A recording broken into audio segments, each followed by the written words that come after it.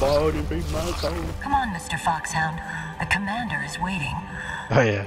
Where you going?